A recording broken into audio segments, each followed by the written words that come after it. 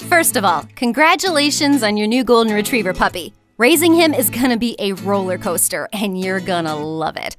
It's not easy raising a puppy, be it any breed, but having a few necessary things around will definitely help you. In this video, we will go through various canine accessories and products you must have to take better care of your little furball. Number 1. Dog toys. You will need a lot of dog toys to keep your puppy occupied. But don't give him all the toys at once, or he will get bored with all of them. Give them one by one and keep rotating them. I also suggest getting a couple of plush toys and rubbing them on his mama and litter mates. That way you can bring their smell back home and make your puppy feel more comfortable. Number 2. Chew treats. If you haven't had a puppy before, then let me warn you of unwanted chewing. Your new puppy would want to chew on everything from your furniture, clothes, shoes, to even your hand. You need high quality edible chew treats to redirect his chewing. If this doesn't solve the problem, then get an anti chew spray, which usually consists of bitter apple juice, and spray it where he chews the most. Number 3. Puppy food. Of course, you will need puppy food, but make sure to do proper research before you select the brand. It is very important to feed a high quality puppy food for proper growth and development. Ask your vet for some suggestions. I will drop a few recommendations in the description down below. Number 4. Dog bed. Your puppy is gonna spend 16 to 18 hours a day sleeping, so you must invest in a comfy dog bed and make his sleep as sound as possible. If you live in a place where winters are harsh, consider adding a soft blanket too. Number 5. Harness and leash. Once your puppy is completely vaccinated, you would want to introduce him to the wonders of dog parks, beaches, and walking trails.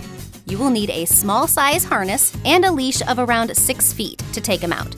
But during the initial days, your puppy will be super excited about everything, and there will be a lot of pulling. So I would suggest you start leash training your pup indoors for the first couple of days. Number 6. Crate. Golden Retriever puppies are very curious, and they may feel adventurous and go around the house chewing furniture and swallowing things. And for most people, it's not possible to be with their new puppy 24 7. You need to get a crate to keep your puppy safe when you are not around. Apart from that, your puppy loves having his own personal space where he can rest and sleep. Now, there are many types of crates available in different sizes, but a 24 inch wired crate is perfect for a Golden Retriever puppy. Number 7. Food and Water Bowl. Another must have accessory for your pup is a water bowl. It is very necessary to keep your puppy hydrated, especially in summers. So, your puppy must have access to water throughout the day. I would recommend you buy two stainless steel bowls, one for water and another for food. Also, make sure that both of them have rubber bottoms to prevent them from slipping away while your puppy is using them. Next on our list is treats. Now, your cute little fur ball is going to be super naughty. You need to train him and teach him lots of things. And the best way to train them is by using positive associations, like treats and praises. So you will need treats that are not only delicious, but also healthy for your pup. I will definitely drop some recommendations in the comment down below. Number 9. Brush.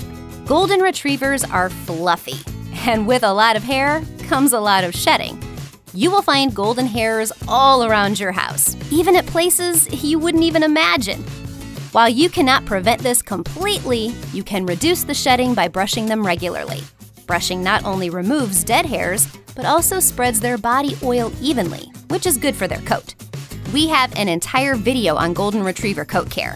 You've got to check it out. Last, but definitely not least, the most essential item in this list would be your unconditional love. A little cheesy, but true.